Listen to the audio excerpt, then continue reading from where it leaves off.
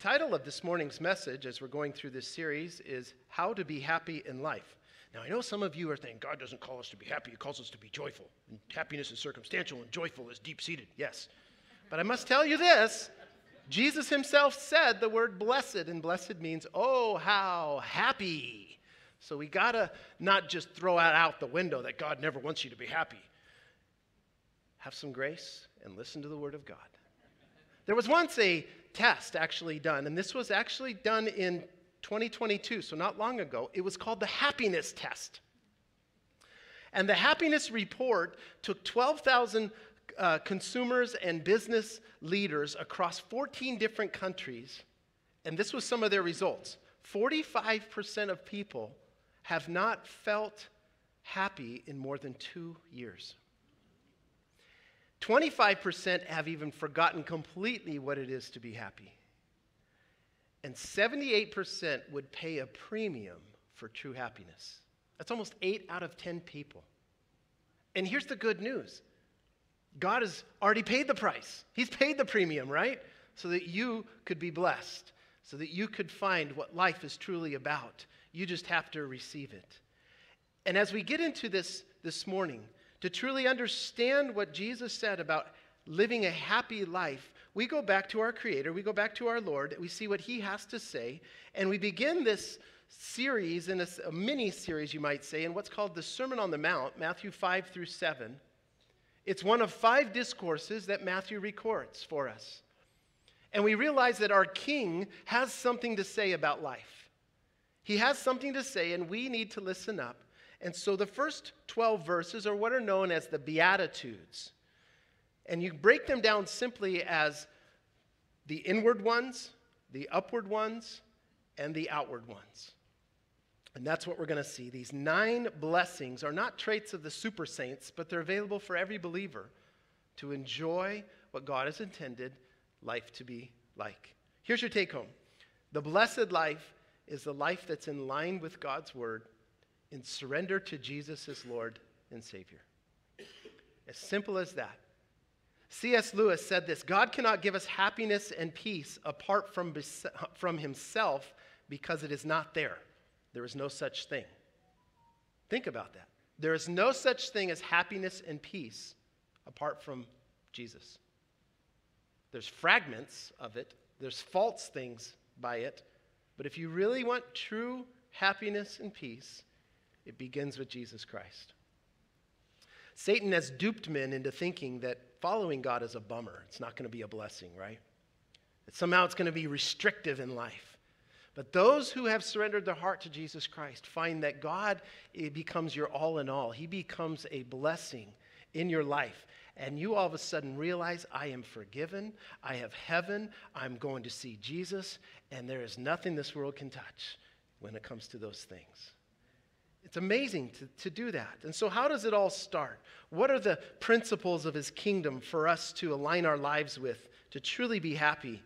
Chapter 5, verse 1. And seeing the multitudes, he went up on the mountain, and when he was seated, his disciples came to him. Then he opened his mouth and taught them. Now, let me give you a running start. Jesus has called his disciples to come follow him. Some of them are, are right there in the midst of this. He has begun his ministry up in the Galilee area. Verse 23 of chapter 4 says Jesus went about in Galilee teaching in the synagogues, preaching the gospel of the kingdom, and healing all kinds of sicknesses and all kinds of diseases. I mean, this is, this is amazing. Can you imagine for a second you're there? And I mean, it would be so exciting. Hey, I'm going to see Jesus today. I have no idea what he's going to do. He's going to teach me things of God's word, he's going to interact with people. Who knows what's going to happen? I mean, it was exciting to say, let's go hang out with Jesus. And so here are all these people gathering together with them. And the Sea of Galilee is a really mountainous kind of area, uh, hilly. There's a natural amphitheater there as the winds off the sea carry his voice. And here's what you see right here. This is it. That would be that grassy area uh, that, that Jesus would have been at the shores speaking to the people. Uh, and, and them naturally hearing it. Anybody been to Israel and has, has been to this place? You, you've seen that. You can stand at the seashore and talk in a normal tone, and it actually carries. It's pretty fascinating. It's a natural amphitheater there. But here's where Jesus is instructing his disciples, unfolding these principles of his kingdom that is at hand. And we get to the first one there in verse 3. He says, Blessed are the poor in spirit, for theirs is the kingdom of heaven. So these are your inward attitudes as we begin this. Blessed, again, meaning, oh, how happy, and he says this over and over, are the poor in spirit. It, are the, the humbled, the bankrupt, the broken, the beggar. This is not physically poor, but spiritually poor. Every citizen in God's kingdom starts here. I see my emptiness. I see my spiritual bankruptcy. I see my poverty from sin and my need for salvation. If I truly want to be happy, there are eight lessons here that we're going to discover in how to cultivate a happy life, and this is the first one. Happiness begins with brokenness. That's a hard thing because the world says, hey, no, happiness starts when you add all these things to your life. Where God says, listen, if you truly want to be happy, it starts first with this brokenness, where I say, Lord, I am absolutely dependent upon you, surrendered at your feet. I'm lost without you. It begins with humility before God. J.C. Ryle said, Humility is the very first letter of the alphabet of Christianity. We must begin low if we would build high. And so we look at that. And when I acknowledge my spiritual bankruptcy before the Lord and I place my trust in Jesus, look at the reward, the blessing that's promised. For theirs is the kingdom of heaven. Isn't that beautiful to know? Because in this life, you're going to have times when you'll, you may have some riches, but you may not. But God promises every single one of us that in that place of abandonment and brokenness, I have now punched my ticket to all the riches of heaven and the glories to come and a relationship with the living God. It's a beautiful thing to consider. Verse 4, he says, number two, blessed are those who mourn, for they will be comforted. And this mourning has to do with weeping and wailing as if you've lost a loved one. Some of you have been through that even recently. The citizens of heaven, the citizens of his kingdom, don't take sin lightly it, it impacts you. There's a heaviness of heart, there's a brokenness that comes with your own sin, and it's often expressed in tears. Let me ask you, just on a personal level, when was the last time you broke over your own sin? I found it personally in my own life in different seasons and different times. Usually starts with I'm, I'm just away with the Lord and it's just, you know, kind of me and Him. Worship is, is going and I'm singing a song, and all of a sudden, God just starts to begin to say, Hey, here's where your heart is. And it's such a heaviness and it's such a brokenness that you find yourself just weeping before the Lord, going, Lord, the ugliness of my heart. Oh, it's not like you're going, oh, there's these radical sins going on in my life. It's just all of a sudden, when I'm in the presence of God, who is all holy, every little detail, every small thing gets exposed because of his holiness.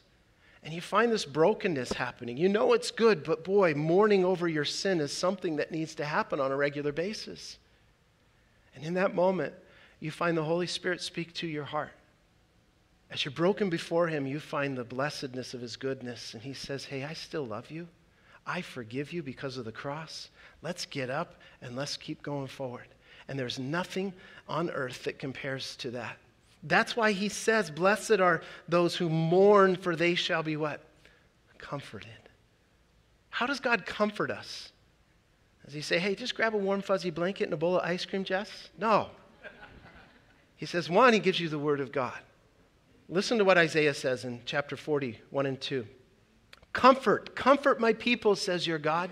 Speak tenderly to Jerusalem and proclaim to her that her hard service has been completed, that her sin has been paid for, and she has received from the Lord, Lord's hand double for all her sins. When you are hurting, turn to the Word of God. The second thing he gives us is not just the Word of God, he shows us the work of God. And oftentimes, when you're hurting, fall back on what you've seen God do in the past. Uh, it's so important for us. He points us to the cross, which is the fulfillment and the statement of his love for you and I. See, you and I are like, remember Mary Magdalene there in John 20? When she came to the tomb, the stones rolled away, and she's sitting there, she's weeping. Somebody stole the body of Jesus. She can't see through all the tears. Every emotion is going crazy. She's got all kinds of questions. All she sees is an empty tomb, lots of question, lots of pain, and some strange gardener over here. Until he speaks his, her name. And then she falls at his feet and says, Rabboni, teacher. You see, how often in our pain we need to not only hear the word of God clearly, but we need to see the work of God, what he's done for us, risen again. We always go back to that. And the third thing that we see is the witness of the Holy Spirit. The Word of God will speak to you, the work of God testifies to you, and the witness of the Spirit in your heart says, I am a God of all comforts. I comfort you in your sorrows and your brokenness over sin. He hasn't left you. So here's your second lesson. Lesson number two is happy people don't deny their hurts, they allow God to comfort them when they are hurting. You're not going to resist the Holy Spirit, you're not going to push off His word. You're not going to deny the work of the cross, which is his ultimate expression to say, I love you, check this out. But you're going to embrace it all, and in the process of that, you find God comforting your soul. Verse 5 Blessed are the meek, for they shall inherit the earth.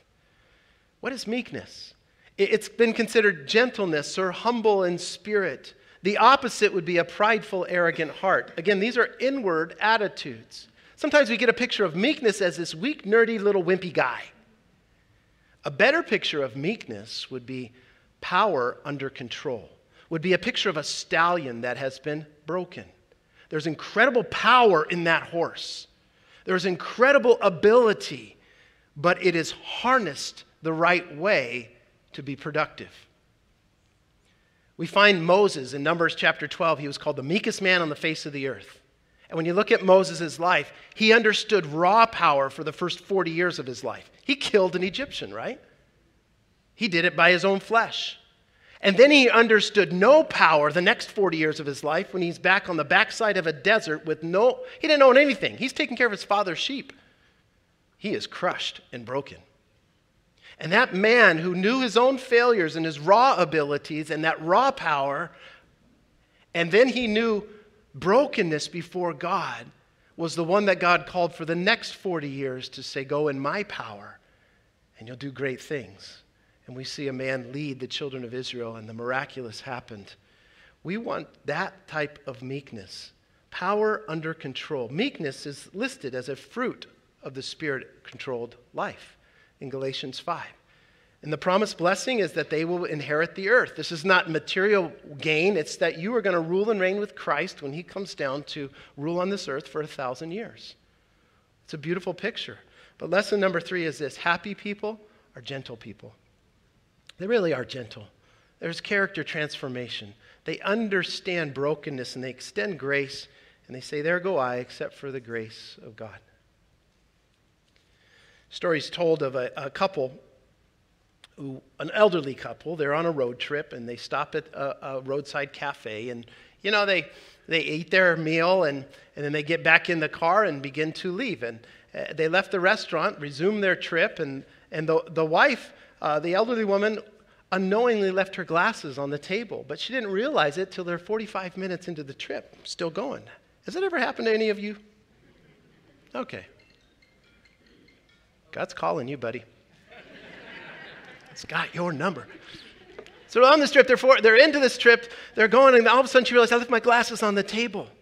And she's, uh, uh, you know, kind of ashamed about it, but then they couldn't find a place to turn around, and it took a while, and they finally finally turned around. On the way back, the husband is just grumbling, complaining.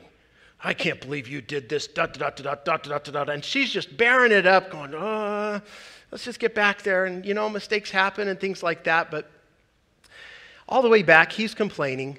Classic grumpy man. He wouldn't let, let it go for a single minute.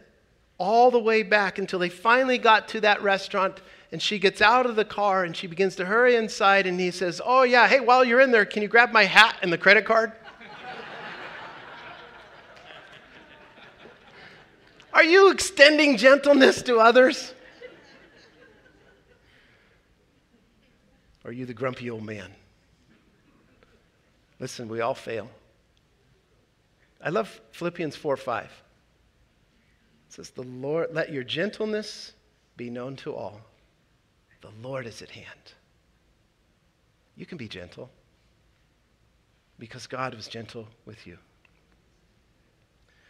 So we see this progression. Here we see the first things. A happy life progression is I acknowledge my spiritual poverty. It leads to mourning over my sinfulness, which leads to meekness in my heart, a life controlled by the Spirit. And there's all promises attached to it. What's happening is God is doing his royal flush in you. The King of Kings is saying, Let me flush out all of you and begin to fill you with all of me. So the inward attitudes then lead us to the upward appetites Check this out in verse 6. Blessed are those who hunger and thirst for righteousness, for they shall be filled. Now, one of the things that you know you're alive is because God's put these drives in you. These drives in you, you actually hunger, you thirst, you need air. Those drives are there. That's one of the checks. You know you're alive. But spiritually, there should be a hunger and thirst for His righteousness. I want right standing with God, which comes through the blood of Jesus Christ. He's made me pure and holy and saved me. I want right living with God a holiness in pursuit of my life, and I want right living with others where they may see, God, your good works through me and glorify you in heaven. I want those things. That's the progression. That's what we're striving for. And when we do, the believer is consumed, in a sense, with this mind of Christ. Lord, be a part of my life. Change me from the inside out. I want to hunger for you. I was doing a funeral yesterday after this one, went to another one, and uh, and, and, the, and the gal who had passed away, in her Bible, she had these prayers written down. And one of the prayers, and I read it there, and it really impacted me. One of the prayers that she wrote was this Dear Heavenly Father, I want Jesus to be more important in my heart and life than I am. In Jesus' precious name. Is that your prayer? But I hunger for you more than anything else. You're my lifeline. And God says this promise when your heart is hungry for Him, Simply this you will be filled. Isn't it so wonderful to know that our King of Kings doesn't leave you lacking? He doesn't say, Sorry, you're last in line, maybe tomorrow. He doesn't say, Call me in a month or two, let's see what we can work out. He says, The moment you hunger for me, I'm ready to fill you overflowing. And so call upon him. Lesson number four happy people chase after God's righteousness in their life. We are not sinless, but we do begin to sin less and less as life goes on. We're not perfect, we just know we're forgiven. And they pursue godliness and holiness because they want to please their king. Verse 7 Blessed are the merciful, for they shall obtain mercy. And mercy is just showing compassion to people in need. It's not getting what you deserve, right? And when we do that, we find that we obtain mercy. When we give out mercy, God blesses us with mercy. It, it's a beautiful thing. If I want God's mercy in my life, then start showing it to others around you. Listen to Matthew chapter 6. If you forgive other people, Jesus said, when they sin against you, your heavenly Father will also forgive you. But if you do not forgive others their sins, your Father will not forgive your sins. In other words, God makes this connection between what you receive and what you give out. If you're there saying, God, forgive me of my sins, but I can't forgive them, there's a disconnect in what God is wanting to do in your life. You're missing it. Like the sinful woman who came before and fell at Jesus' feet and began to, to weep at, at his feet and, and wash his feet with her hair and cry over her sins. What did he say to that man in the house? He said, The one who has been forgiven much loves much. So you see the connection? The mercy you show others testifies how much you have grasped the mercy God has upon your own life. Be a merciful person. Lesson number five happy people love to show mercy to others. In fact, it could be a marker of your spiritual maturity. Are you critical of others? Over and over and over, very judgmental. You're kind of like the, the Christian who says, Lord, I love you, but I just can't stand your people. Why can't they be all like me? It doesn't work that way. We want to be merciful to others because God is merciful to us. Verse 8 Blessed are the pure in heart, for they shall see God. These are these upward appetites. I aim towards holiness and integrity and purity, and at the reward, I get to see God, both today and tomorrow in eternity. Hebrews 12 14 says, Make every effort to live in peace with everyone and to be holy. Without holiness, no one will see the Lord. So I need to have a striving in my heart for God's holiness. God said, Be holy, for I am holy. Be holy in all your conduct. And so that upward desire for God is a life that says, Lord, I want to have purity in my heart, integrity, honesty, and strive after you. Psalms 24, verse 3 through 5, David says, Who may ascend to the mountain of the Lord? Who may stand in his holy place? The one who has clean hands and a pure heart, who does not trust in an idol or swear by false God, they will receive blessing from the Lord and vindication from God their Savior. So there's that divine connection. Listen, when you have accepted Christ, you positionally are considered holy and pure because of the blood of Christ. You have a position of purity. But then you are responsible to have a practice of purity, saying, God, change me from the inside out. I want to be like you. And purity is not some holier than thou type of mentality, pridefully boasting. Oh, they don't do these. Purity is a sincerity of heart it's with integrity, it's with unadulterated motives. It just says, Lord, I want to love you because you have loved me. Change me from the inside out. I want to see you, God. I want to see you working in my life. I want to see you working through my life. There's nothing greater than watching God use your life, and nothing greater than the very presence of God. It says in Psalm 16, In your presence is fullness of joy, and at your right hand are pleasures forevermore. You want a joyful life? You want a life filled with pleasure? Get to the presence of God. And from that, you'll see it extended out in a beautiful way. Lesson number six happy people cultivate a pure heart.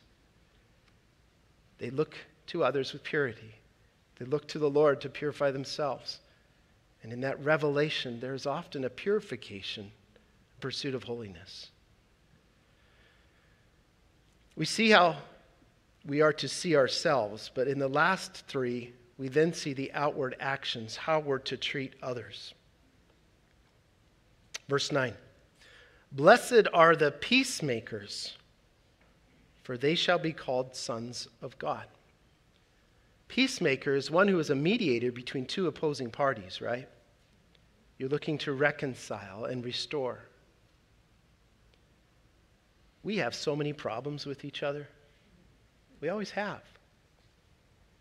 From the very beginning, there has been friction, there has been factions, there has been issues. Welcome to sin land, right? It's ripped us apart. And yet, God calls us as a, as a citizen of his kingdom to strive to be a peacemaker to reconcile not just people with God, but reconcile people with each other, believers with each other. And when we do it rightly, what does He call us? We're sons of God. We are a reflection of Jesus Christ Himself when we walk in those ways. Listen to what 2 Corinthians 5 says. All this is from God who reconciled us to Himself through Christ and gave us the ministry of reconciliation. God was reconciling the world to himself in Christ, not counting people's sins against them, and he has committed to us the message of reconciliation. We are therefore Christ's ambassadors, as though God were making his appeal through us. We implore you on Christ's behalf be reconciled to God. God made him who had no sin to be sin for us, so that we might become the righteousness of God. Sad to say, too often today, Christians are war makers or troublemakers and not most likely peacemakers. It just takes a brief moment to look around. We'll fight about anything and everything. We'll fight about the color of a carpet. Why not? Because it's there. We'll say, my right, your rights. We'll fight about how things are done. We'll fight about what's going on in society. We'll fight about a movie. We'll fight about music. We'll fight about all these things. And here's what happens a lot of times the world is more hurting Believers are more at each other's throat, and the enemy just sits back and laughs. But when we could be peacemakers, helping people bridge the gap to the Lord who loved them and created them, yes, dealing with sin, that's necessary, but looking at the grace and the love of Christ who came to save you. When we can deal with each other and go, hey, man, can't we all get along? when we can deal with each other and just say, look, let's look at the bigger picture. In light of eternity, who cares about that issue? Really? Who cares about that argument? Does the carpet color truly matter? It's going to get ripped out eventually, but people will divide over it. It's crazy. And God has called us to be peacemakers. Lesson number seven happy people seek reconciliation, not retaliation. They make a habit. Yes, hurts are going to happen, but they make a habit of, I want to be a reconciler. I want to see people restored relationally. I want to see the, the, the blessings and not the bitterness. You see, when you start to get bitter, it's like drinking poison and expecting the other person to die. When you get bitter, it's like an infection in your body that unless you deal with it, you can't blame anybody else. You want to be justified. I have a right to be bitter while you just get infected over and over and over. You see, here, here's, here's this reality forgiveness says that sin does matter. It's not neglecting it. That sin matters because the cross took care of it. Forgiveness says that pain hurts. And Jesus knows how I felt because he pinned himself on the cross.